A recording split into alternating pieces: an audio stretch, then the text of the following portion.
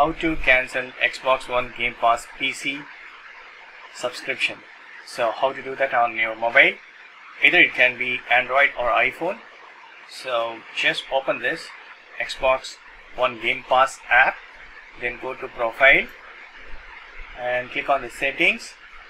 Under settings side you can see this profile name renews on 23.6 so just tap on this so it will be redirected to account.microsoft.com or you can open browser and directly you can log in into that.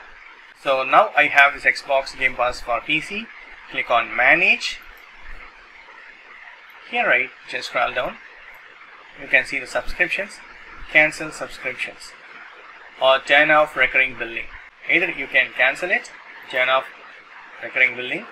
You will lose access to your Xbox Game Pass for PC then cancel and cancel subscription. Both are in the same way.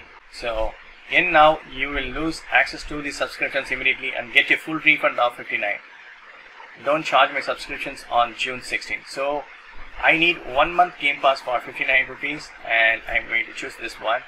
Click on next.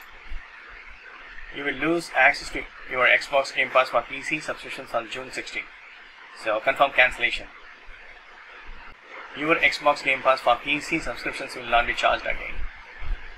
That's it. Thank you so much. Back to subscriptions.